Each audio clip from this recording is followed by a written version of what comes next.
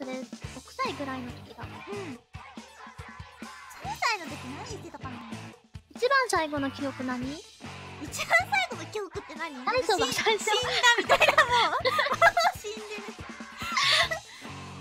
一番最初の記憶。一番最初の記憶は友達を噛んだ記憶があるね。え？赤ちゃんの？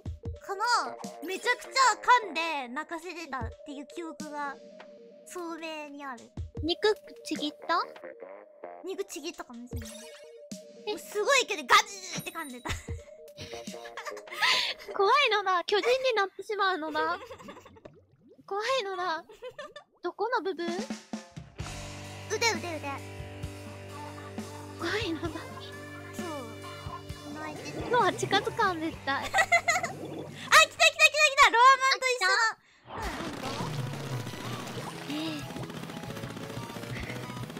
それ怒られた？怒られたね。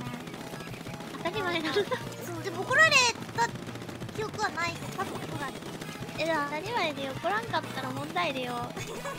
ダメなのだって。結構やんちゃしてたんだよやんちゃをこういたずらするのが好きだからね。いたずら通り越してるのだそれはハングラビ法廷な。のだハムラビモテうん。噛んだからロアも噛み返すのはあいいね。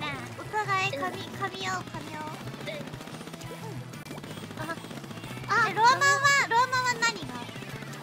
最初のロアマンロアマンね鼻で出した記憶。ロアロアさね鼻で出したことある？うんあるあるあるある。ロアさ人生でさ一回しか鼻で出したことないのね。へでえさ多分すっごいちっちゃい時さ3歳とかな。こうよちよち歩きの時。なんかねふじってないののなんかね写真撮ろうってなってねこうね車の前にね立たされてねなんかわけもわからずちっちゃい時ね。